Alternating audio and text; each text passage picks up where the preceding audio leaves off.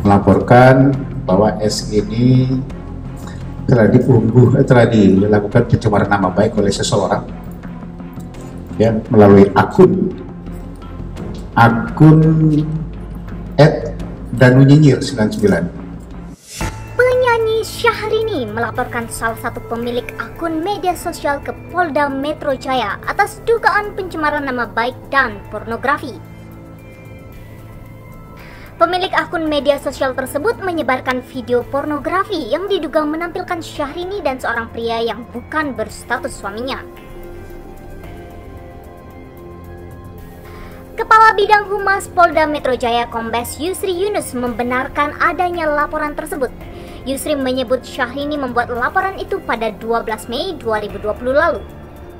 Memang betul, sekitar tanggal 12 Mei yang lalu,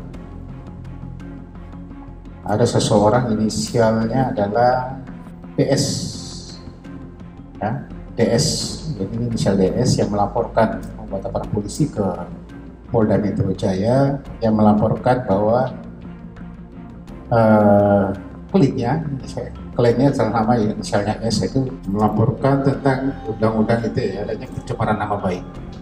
Ya di mana tertuang di pasal 27 untuk pasal 45 di Undang-Undang ITE dan, dan juga di undang-undang adanya di pasal 4 nomor undang-undang ini nomor 44 tahun 2008 tentang pornografi. Yusri mengungkapkan dugaan itu dilakukan oleh akun Instagram @danunyinyir99 terkait pencemaran nama baik dan pornografi melalui media elektronik. Ya, melaporkan bahwa S ini telah diunggah eh, telah dilakukan pencemaran nama baik oleh seseorang ya melalui akun. Akun at Danu Nyinyir 99 Danu Nyinyir 99 terkait pencemaran nama baik dan juga pornografi melalui media sosial yang ada. Jadi media elektronik ada.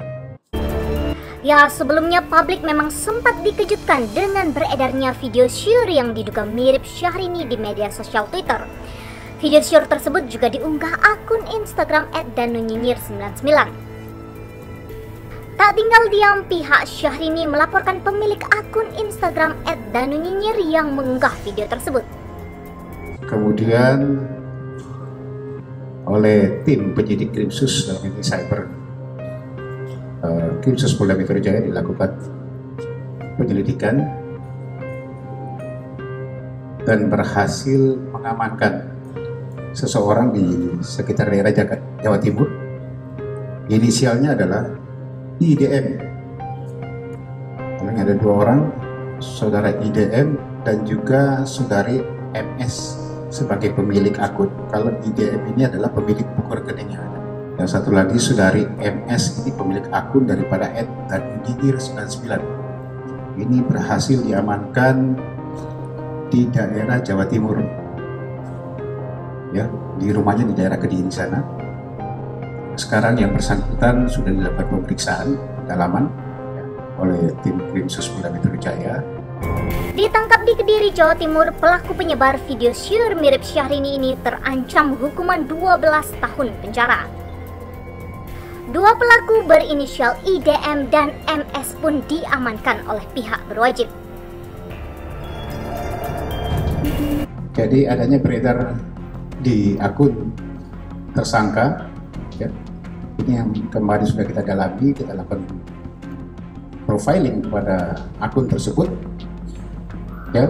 Dan kemudian ketahuan siapa pemilik daripada akun. Sekarang akun pemiliknya adalah saudari MS sendiri dan berhasil kita amankan di daerah Kediri Jawa Timur. Sekarang yang bersangkutan sudah lakukan pemeriksaan masih dalam tahap pemeriksaan terus rencananya besok akan kita sampaikan. Sampai saat ini pihak berwajib masih melakukan pendalaman untuk mengetahui motif pelaku mengunggah video, foto, dan melakukan cacian terhadap penyanyi Syahrini. Karena sekarang ini pelaku masih kita dalami terus untuk motifnya. Ya, motif daripada pelaku untuk mengunggah, mengunduh daripada eh, foto-foto uh, maupun juga cacian-cacian yang dilakukan di akun milik pribadi. Ya mari kita tunggu saja kelanjutan kasus yang menimpa istri Reno Barak ini.